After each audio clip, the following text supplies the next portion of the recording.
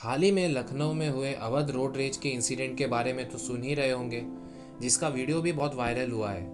क्या उस औरत ने सही किया? अगर उस औरत के जगह पे एक आदमी होता तो सबसे पहले तो उस आदमी को वहाँ पे सारे लोग मारते, फिर उसे पुलिस थाने में लेकर जाती और वहाँ और मारते। और वो यही सोचता कि बहुत बड़ी गलती कर दी उसने। लेकिन यहाँ पे इस लड़की में जितना हिम्मत था, ये देख के तो ऐसा लग रहा था कि अगर मिलिट्री वाले भी आ जाते उन्हें भी मार देती वो। वहाँ साफ़ साफ़ दिख रहा था कि वो औरत ग्रीन लाइट में गाड़ियों के बीच से रोड क्रॉस कर रही थी। और तो भला हो उस आदमी का, उसने तो सही वक्त पे ब्रेक मारा। सारी की सारी गलती उस औरत की थी, लेकिन फिर भी ना जाने उसने कितने थप्पड़ उस आदमी को लगा दिए। और ईगो तो इतना था कि खुद ही एफआईआर दर्ज कर दी उस ड्राइवर के खिलाफ।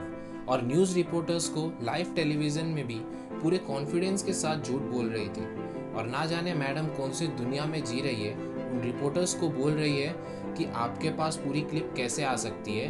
आप कैसे देख सकते हो सब? हिम्मत तो बहुत है उस औरत में। लाइव में भी ये बोल रही थी कि मुझे हार्ट और किडनी का प्रॉब्लम है। अच्छा अगर मुझे ऐसे हेल्थ प्रॉब्लम्स रहते तो शायद मैं तो ऐसे उछल उछल के नहीं मारता। मानना पड़ेगा उस आदमी के सहन शक्ति को, जो उसने इतने सारे थप्पड़ सहन कर लिए। अगर उसके जगह कोई और दूसरा आदमी होता, जिसमें सहने की शक्ति कम होती तो वो शायद आज जेल में होता। इसमें भी एक फेमिनिस्ट ने उस औरत को सपोर्ट किया और बोली कि हो सकता है कि वो औरत बुरे वक्त से गुजर रही हो एंड उसे उस वक्त कुछ समझ में नहीं आया और ये कदम उठाई। ठीक है, चलो मान लिया उस लड़की को स्ट्रेस था, और वैसे भी लाइव टेलीविज़न में उस औरत ने यह भी कहा था कि उसके दिमाग की भी प्रॉब्लम है।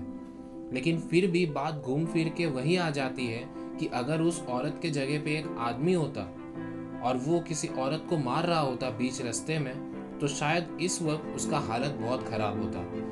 लड़का हो या लड़की, आदमी हो या औरत, इन सभी के लाइफ में प्रॉब्लम्स स्ट्रेस सब होते हैं पर उसे हैंडल करने की ज़िम्मेदारी तुम्हारी खुद की होती है।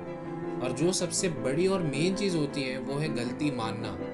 उस औरत में इतना ईगो था कि वो अपनी गलती भी मानने को तैयार नहीं। सेम वो जोमेटो के केस की तरह है ये भी। सेल्फ रिस्पेक्ट क्या होता है ये एक लड़की से ज़्यादा बेहतर और कोई नहीं समझ सकता। और उस आदमी ने लाइव में आके सिर्फ़ यही कहा कि उसको उसका सेल्फ रिस्पेक्ट वापस चाहिए, जो कि मुश्किल है।